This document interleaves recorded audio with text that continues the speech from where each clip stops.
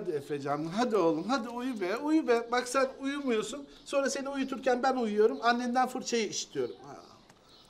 Aa, Sadık Beyler geri dönmüşler. E peki yanındaki kadın kim? Betüş Hanım değil o. Üstelik Sadık Bey koluna girmiş. Aa. Sadık Bey! E, buyurun Avni Bey. Avni Bey hemen buyurmasın Sadık Bey. Önce kendisiyle biraz işimiz var.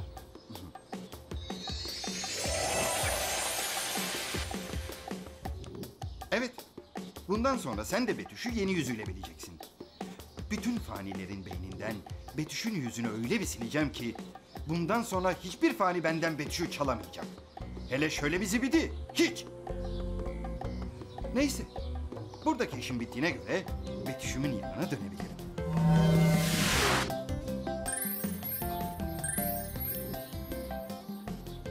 Aa Sadık Bey, Betüş Hanım, hoş geldiniz. Nasılsınız? İyiyiz valla. Eh sonunda döndük. Ya hoş geldiniz. Nasıl geçti? Harika geçti. Ama şimdi işte geldik yani çocukları okula yazdır. E iş başlayacak çok kötü. Olsun olsun. Eğer iyi geçtiyse sizin adınıza çok sevindim. Siz bir yerlere gitmediniz mi? Nerede? Efecan'la nereye gideceksiniz? Sabah akşam nöbetteyim. Vallahi askerde bu kadar nöbet tutmadım Sadık Bey. Epey büyümüş vallahi. Büyüdü ya, büyüdü. Büyürken ama her şeyi de büyüyor. Gazı da büyüyor, kakası da büyüyor, dertleri de büyüyor. Bunlar güzel telaşlar Avni Bey. Güzel olması ne güzel ama çok yorucuymuş Sadık Bey. Avni Bey e, bakın böyle olmuyor uzaktan. Akşam bize buyurun Edalar da yemeğe gelecek konuşuruz rahat rahat. Aa, ben de çok isterim Sadık Bey. Ama Suzan'a bağlı. Şimdi Suzan eve gelince saat 6'da evde bir işimiz var. O işi yaparken kapışmazsak kesin size geliriz. Anlamadılar ha?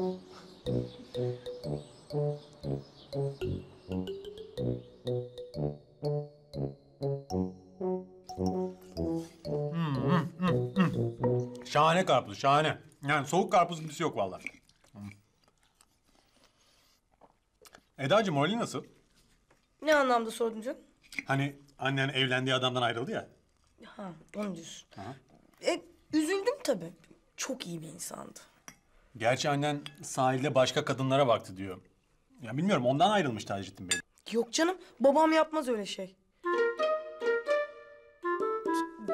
Yani Taceddin Bey o yapıda bir adam değil. Annemi biliyorsun, annem çok kıskanç. Zaten ne oluyorsa ondan oluyor. Belki biraz araya zaman girip sular durulunca hani barışırlar. E sonuçta daha boşanmadılar. Yok canım. Ben annemi tanıyorsam annem hayatta sakinleşmez. Eda, farkında mısın? Sen bu adamı gerçekten baban gibi sevdin galiba. Sevdim tabii Yavuz. E, Betüş de sevdi. Çocuklar da en az dedeleri kadar sevdiler. Değil mi Toprağı? Evet onu çok sevdim.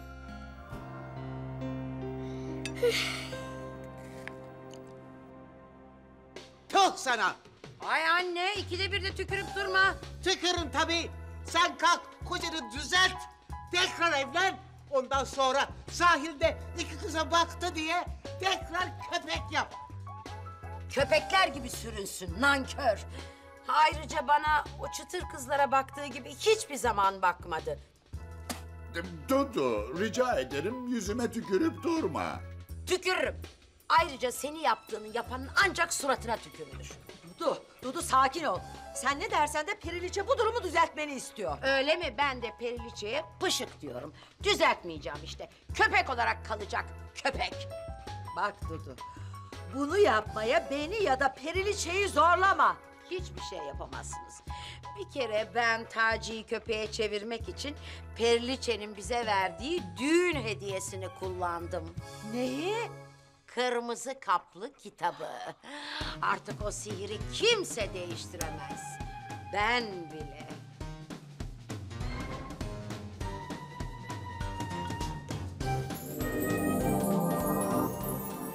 Ne yazık ki haberler kötü Periliçe.